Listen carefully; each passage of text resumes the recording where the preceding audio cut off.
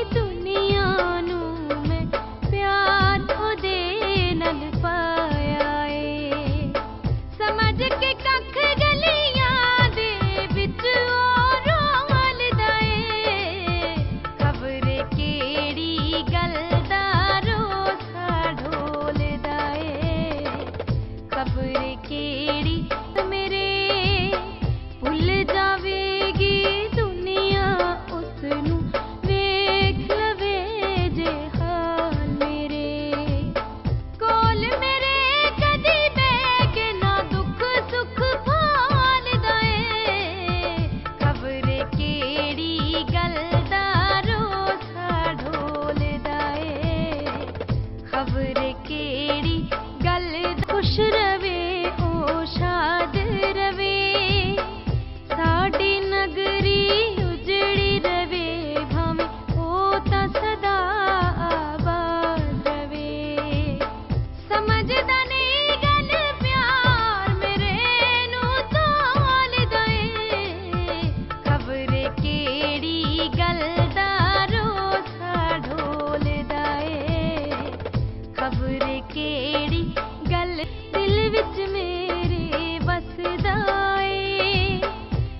करके जा